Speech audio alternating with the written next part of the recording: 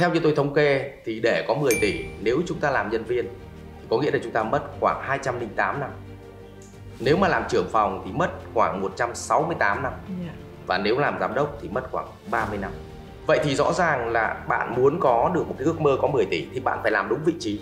Tức là bạn phải làm chủ doanh nghiệp thì bạn phải có cơ hội chạm đến con số đó. Nhưng mà để làm được chủ doanh nghiệp thì bắt buộc bạn phải hiểu được tài chính hiểu được nhân sự hiểu được pháp lý hiểu được kinh doanh.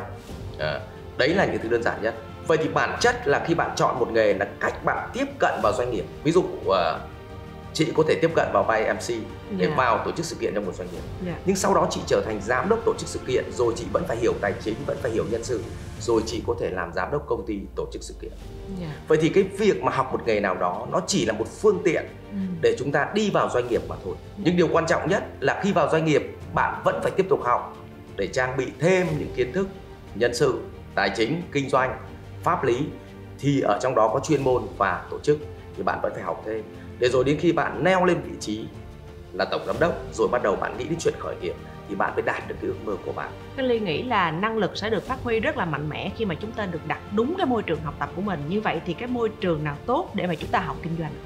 tôi thì cho rằng là môi trường tốt hay xấu thì ờ, nó phụ thuộc 50% vào vào học trò nhưng có mấy cái yếu tố mà tôi cho rằng là môi trường đào tạo kinh doanh tốt.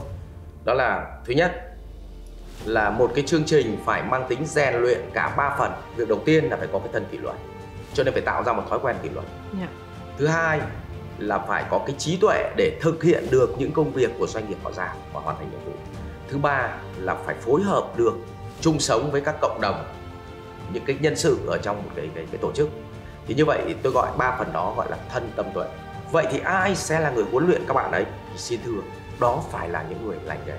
Đó là doanh nhân. Tức là nếu bạn học doanh nhân thì bạn phải học từ những người doanh nhân. Cho nên việc đầu tiên là tôi cho rằng là môi trường giảng dạy để tạo hoàn thiện cả thân tâm tuệ. Ừ. và cái yêu cầu thứ hai là đội ngũ giảng dạy là doanh nhân phải là đội ngũ có chuyên môn thực tiễn ở ngoài đời và thành công ở ngoài đời